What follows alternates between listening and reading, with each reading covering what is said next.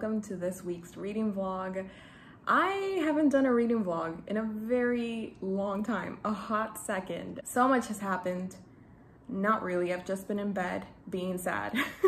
but this is a new month. March marks new beginnings, new opportunities. March is going to be my month. I said it. I have many exciting reading plans for this reading vlog, but before I can get into my plans, I do have to thank the sponsor of today's vlog, which is Book of the month.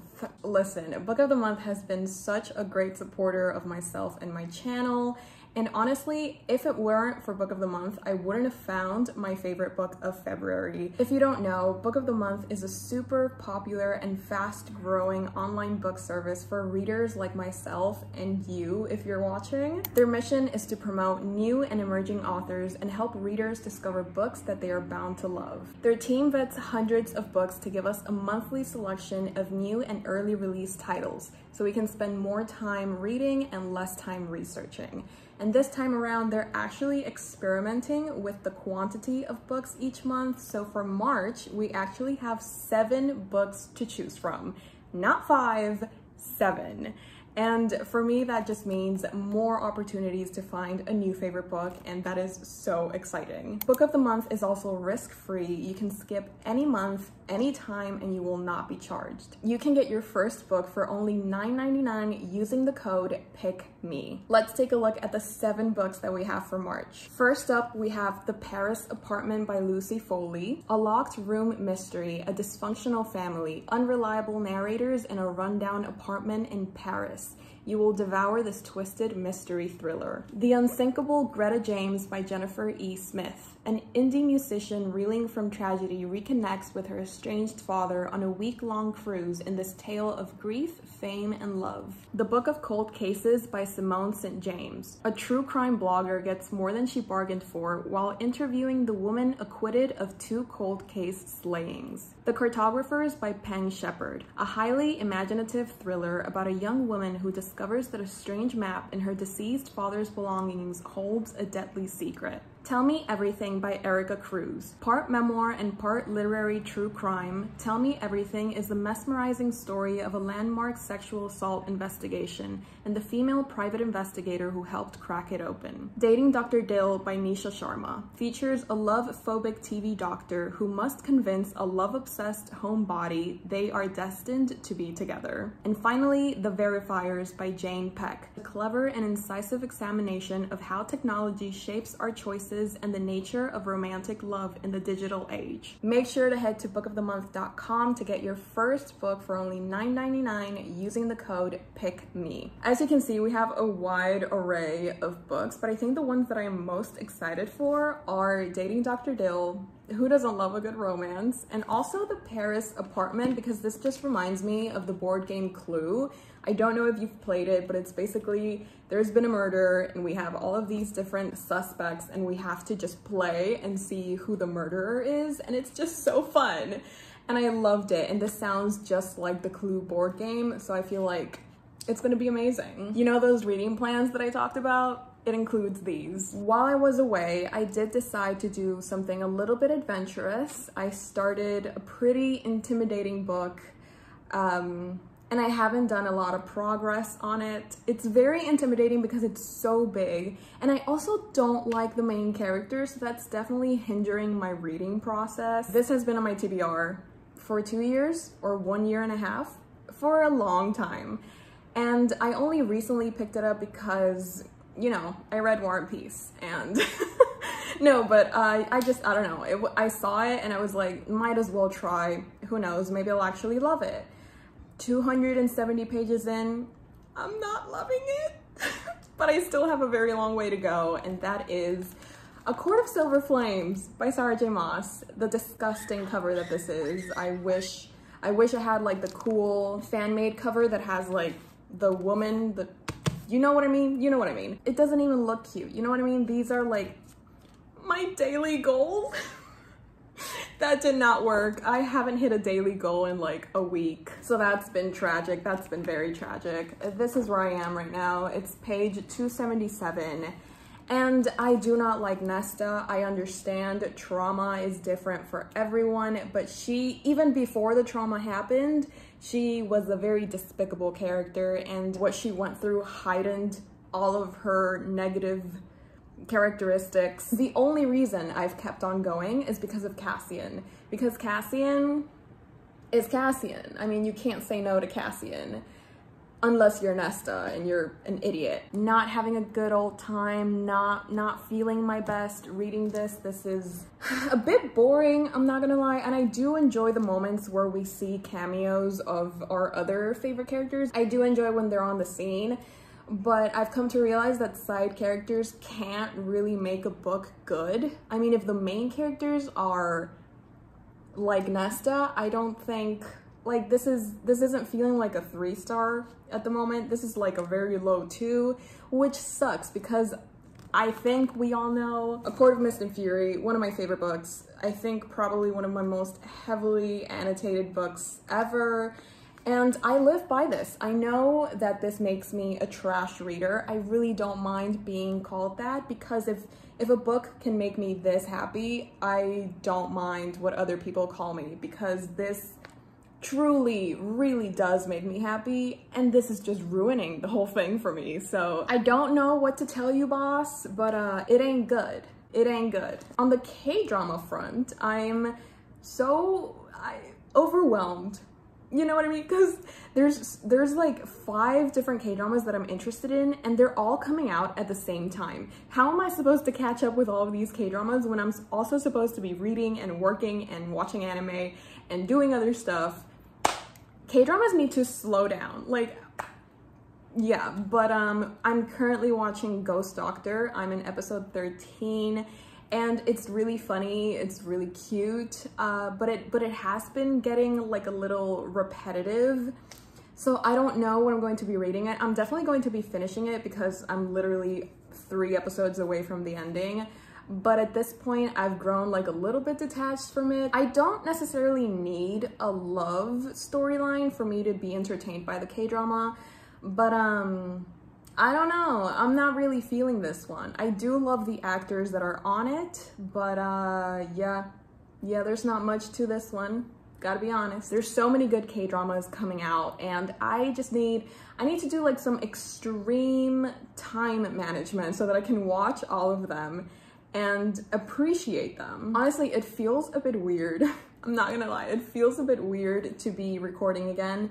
I did upload my February wrap up and I've been receiving so much love so much love. I thought people would be would have forgotten about me because it had been a whole month since I last posted. I am sorry for my impromptu hiatus. February was not it for me. Reading wise, I did really good. I read 15 books, but like mentally wise, I was not there. I was not there, but I'm hoping that March is going to be so much better and I'm so happy that I'm creating again because I really do love this community and on my Discord server, we've just grown so, so much closer and we're doing so many fun things together and I just love this little family that I have and yeah, I don't want to do anything to jeopardize it and I really want you guys to know how much I appreciate you. If you're new here also, I just want to welcome you. I hope you feel comfortable. I hope you enjoy. I hope you feel safe. I hope we just have a good old time together. And yeah, I think for today, I'm going to finish Ghost Doctor because that's just been like hanging over my head. I've been watching it for the longest time. So I'm gonna finish Ghost Doctor and then maybe pick up a book. Ugh, I don't know.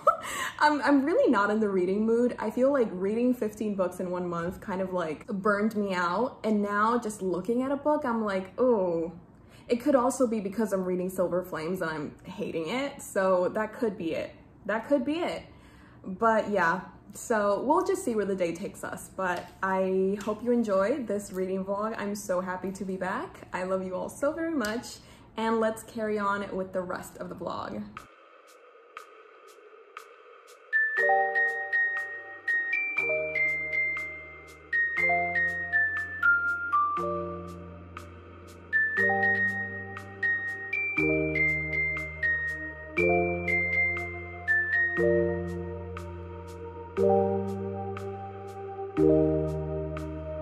Aló,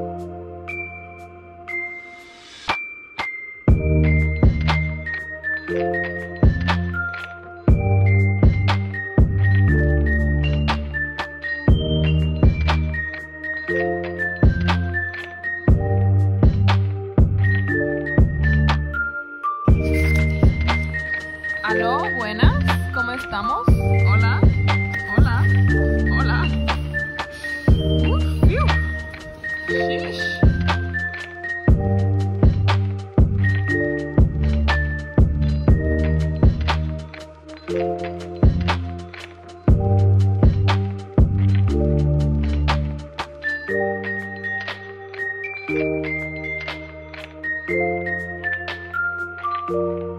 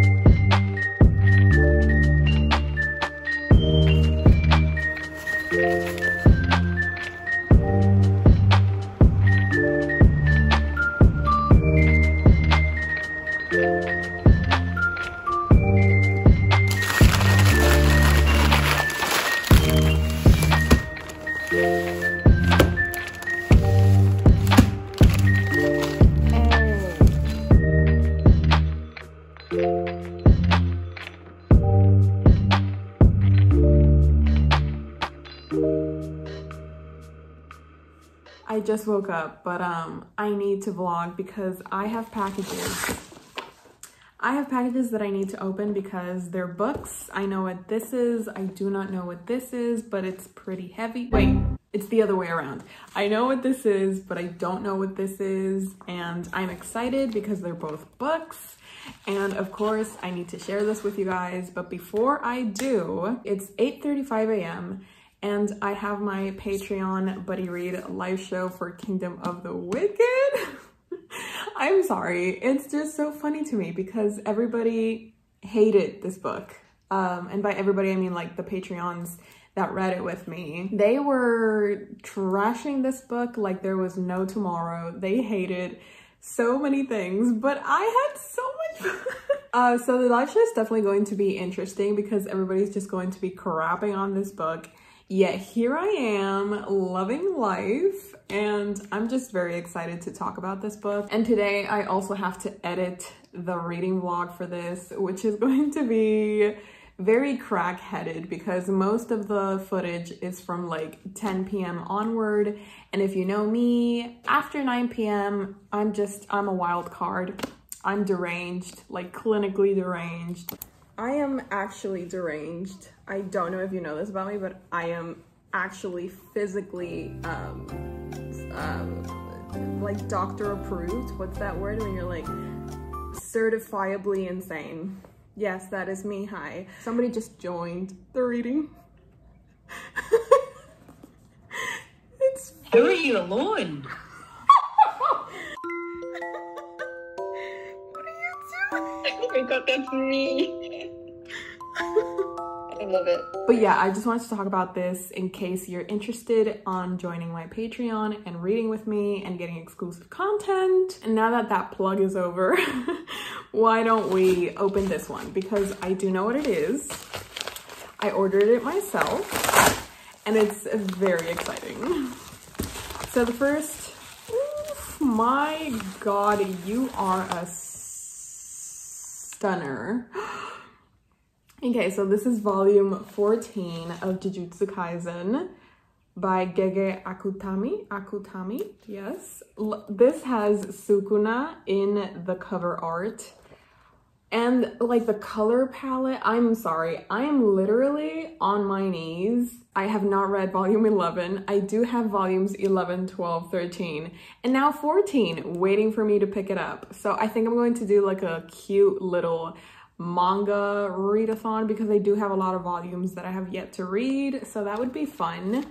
And how can I not pick this up immediately? Holy crap on a cracker. Yes. The next book is actually March's Patreon buddy read. And I am so excited because so many people have recommended this author to me. They say that I'm going to love her. And I have seen books with Chloe loving this author as well. You may know her as the queen of slow burn romance. And if that doesn't tell you who it is, I don't know what will.